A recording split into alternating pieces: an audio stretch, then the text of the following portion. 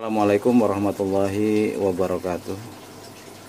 Jumpa kembali di channel Belajar Hidroponik Murah. Eh, Satu hari yang lalu saya telah melakukan penyemaian pada kangkung Bangkok ya.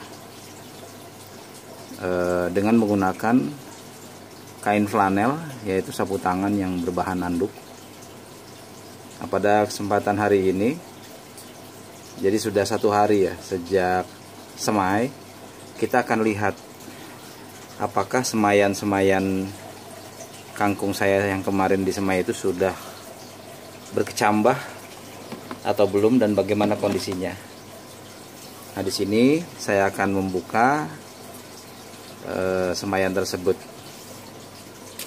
yang saya bungkus dengan kantong plastik hitam ini juga menggunakan eh, mika bekas kue untuk wadahnya kemudian kain flanelnya yang terbuat dari sapu tangan berbahan handuk namanya kalau kita lihat berembun ya. Ini bagus sekali artinya eh, wadah ini cukup lembab. Sehingga diharapkan eh, banyak yang berkecambah. Kita akan buka Bismillahirrahmanirrahim. Lihat saudara-saudara sekalian. Ternyata banyak sekali yang berkecambah.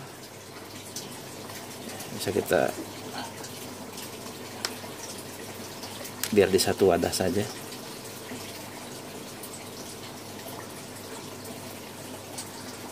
Nah ini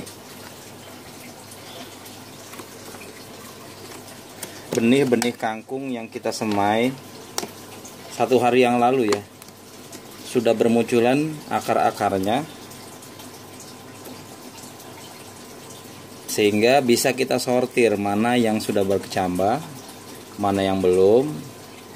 Yang sudah berkecambah kita pindahkan ke media semai atau media tanam yang baru supaya eh, seragam ya sedangkan yang belum berkecambah kita biarkan sementara sambil kita menunggu waktu untuk berkecambah.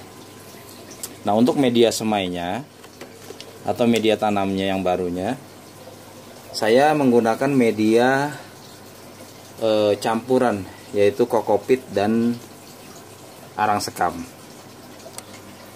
ya pemirsa inilah media tanam yang akan saya gunakan untuk menanam kangkung hidroponik yang barusan kita buka semayannya sudah banyak yang bercambah ini adalah arang sekam ya. Ini arang sekam atau sekam bakar atau padi yang sudah menjadi gabah kemudian dibakar. Dan ini adalah kokopit. Kokopit ini terbuat dari sabuk kelapa yang dihaluskan. Nah, seperti ini Nah nanti arang sekam dan kokopit ini akan dimix dengan perbandingan satu banding satu. Jadi satu liter atau satu gelas misalnya arang sekam kita campurkan dengan satu liter atau satu gelas kokopit. Dan media yang akan digunakan untuk menanamnya adalah gelas-gelas eh, air mineral seperti ini yang sudah dibolongi sudah dilubangi dan juga dengan menggunakan e, mika bekas tempat wadah kue yang kemarin kita praktekkan. Nah, kita akan mencampurkan kedua media tanam ini. Ya, pemirsa sekalian, kita akan mencampurkan kokopit dan arang sekam ini sesuai dengan uh, tadi bahwa perbandingannya adalah satu banding satu kita ambil.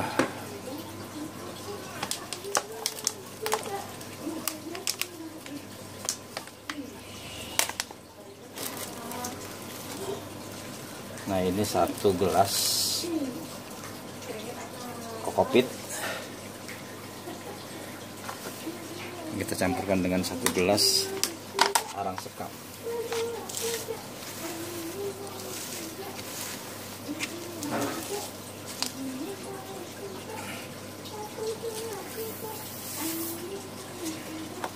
kira-kira seperti ini. Kita akan mengaduknya supaya dicampur rata kokopit dengan arang sekam ini. Ya baiklah pemirsa ini sudah dicampur antara eh, arang sekam dengan kokopit. Untuk lebih melembabkan media tanam ini akan saya tambahkan air supaya mudah menyerap nutrisi nanti. Dan nutrisi yang akan saya gunakan nanti adalah nutrisi buatan yang terdiri dari NPK dan KCL ya. Untuk untuk kangkung ini saya tidak menggunakan ganda silde. Saya cukup menggunakan NPK dan KCL saja Nanti akan saya tunjukkan bagaimana cara meracik e, nutrisinya. Ya baiklah pemirsa sekalian, untuk nutrisinya di sini sesuai dengan janji saya, saya akan menggunakan nutrisi buatan yang terdiri dari pupuk KCL dan juga pupuk NPK 16 16 16. Di mana jika di sini sudah saya siapkan 10 liter air. 10 liter air ini nanti akan kita tambahkan dengan satu sendok KCL dan juga satu sendok pupuk NPK. Nah ini digunakan untuk eh, menanam kangkung hidroponik dengan menggunakan wadah dari mika bekas kue. Baiklah, sebagaimana biasa langkah pertama kita ambil air secukupnya saja. Kemudian kita ambil pupuk NPK-nya satu sendok makan. Seperti ini. Kemudian juga kita ambil wadah lainnya. Saya gunakan ini saja gayung. Airnya juga secukupnya saja. Kemudian pupuk KCL nya juga satu sendok makan. Seperti ini.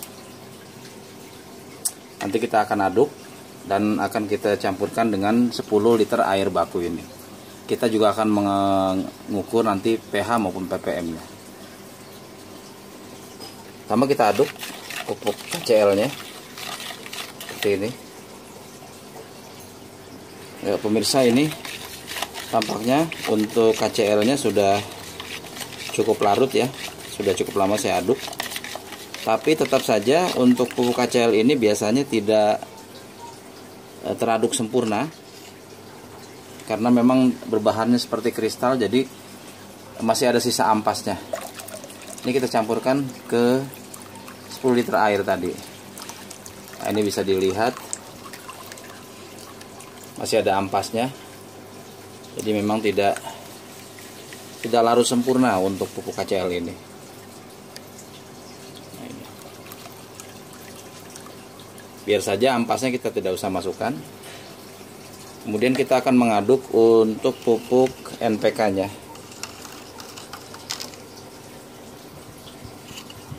ya ini untuk pupuk NPK NPK nya 16 16 16 juga sudah cukup lama diaduk ya.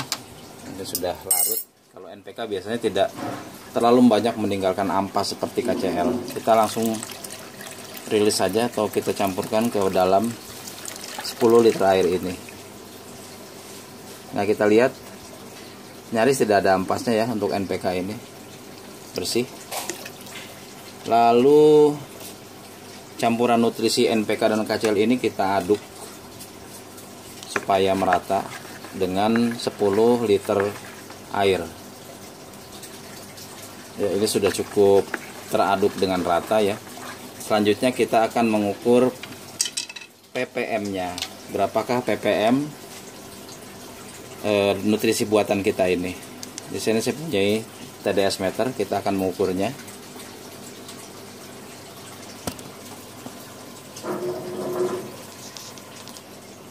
Ya pemirsa ini ppm-nya bertahan di posisi sekitar 1250-an. Ya. Dan kita akan segera mengukur pH-nya. Nah, ini kita ada pH meter menunjukkan posisi 0, kita akan masukkan berapakah pH airnya. Apakah ideal?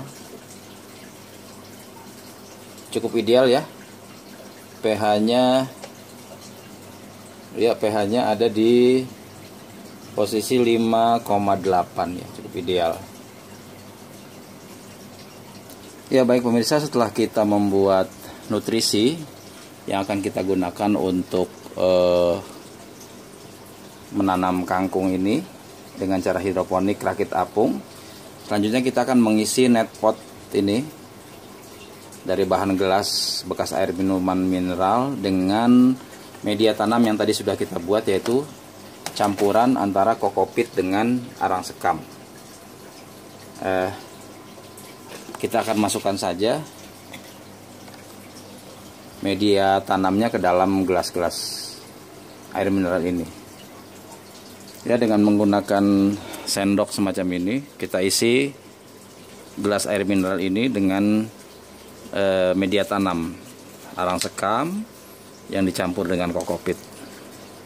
Karena ini sudah berkecambah ya. Jadi kita buat penuh pun nggak apa-apa. Ini seperti ini salah satunya. Ya pemirsa ini eh, net potnya sudah diisi semua dengan media tanam campuran kokopit dengan arang sekam. Selanjutnya kita akan memindahkan benih-benih yang tadi sudah berkecambah ke dalam e, media tanam ini. Namun sebelumnya kita akan mengisi dulu air nutrisinya.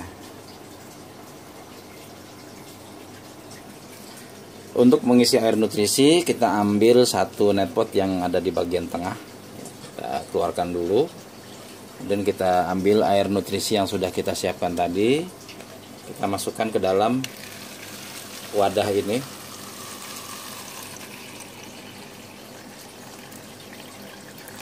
sampai kira-kira sepertiga. Sepertiga bagian daripada eh, wadahnya. Ini kita masukkan kembali. Begitu pula dengan pot atau mika yang kedua. Kita juga isi dengan air nutrisi tadi kita sudah ukur ya ppm nya 1250an kemudian pH nya di posisi 5,9 kita isi seperti ini. Saya masukkan lagi. Nah, kemudian untuk netpotnya kita basahi sedikit-sedikit saja supaya lebih menyerap untuk nutrisi yang sudah dibuat. Karena sebelumnya kita basahinya dengan menggunakan air baku biasa ya. Ini kita pakai gelas yang sudah dibolong-bolongi. Seperti ini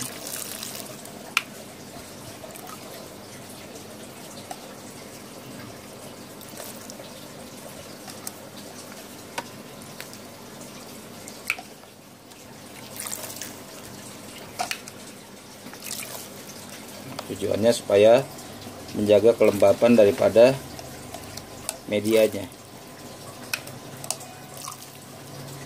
Sebenarnya lubangnya terlalu besar ini. Bisa diperkecil lagi. Selain nutrisinya tidak terbuang-buang. Ya.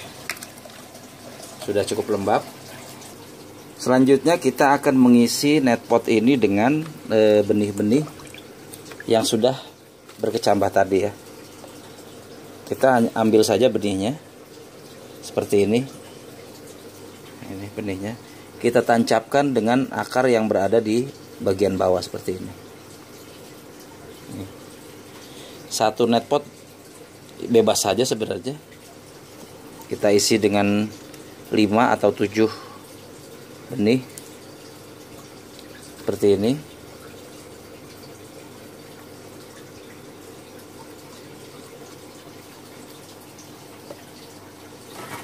pemirsa sekalian ini satu net pot saya isi dengan tujuh benih yang sudah berkecambah. Supaya eh, lebih banyak kangkungnya ya. Sebenarnya lima sudah cukup tapi ini saya berikan tujuh. Di atas tujuh kayaknya sudah terlalu over ya. Nah ini. Diharapkan semua benihnya akan tumbuh secara rata. Karena kita sortir benar-benar yang sudah berkecambah atau mengeluarkan akar yang sama. Ya pemirsa, untuk memudahkan memasukkan benih-benih kangkung yang sudah berkecambah ini kita bisa menggunakan alat bantu seperti ini, sumpit yang terbuat dari bambu sehingga kita mudah memasukkan ke dalam eh, media tanam kokopit ini. Jadi kita putar sedikit. Seperti ini. Kita ambil benih yang sudah berkecambah. Tinggal masukkan saja. Kita rapatkan sedikit. E, baiklah pemirsa ini semua netpot sudah terisi ya. Karena saat ini saya hanya menyediakan dua wadah mikanya. Dengan 10 netpot yang sudah terisi masing-masing netpot dengan 7 pohon kangkung. Ini masih banyak. Sisanya masih banyak yang belum ditanam. Ya nanti akan saya tanam. Dan kita lihat eh, cukup rata ya untuk berkecambahnya. Tidak ada yang kecil. Kalau saya lihat sini cukup rata sehingga kita mudah untuk mensortirnya. Insya Allah yang tumbuh adalah nanti eh, kangkung-kangkung dengan ketinggian yang hampir sama demikianlah para pemirsa sekalian eh, tutorial atau informasi cara menyemai eh, kangkung dengan menggunakan kain flanel. Kemudian kita memindahkannya ke media tanam dengan media kokopit dan arang sekam. Kita lihat bagaimana perkembangan kangkung-kangkung ini mudah-mudahan bisa cepat besar terima kasih atas perhatiannya. Mohon maaf apabila terlalu panjang. Saya akhiri. Wassalamualaikum warahmatullahi wabarakatuh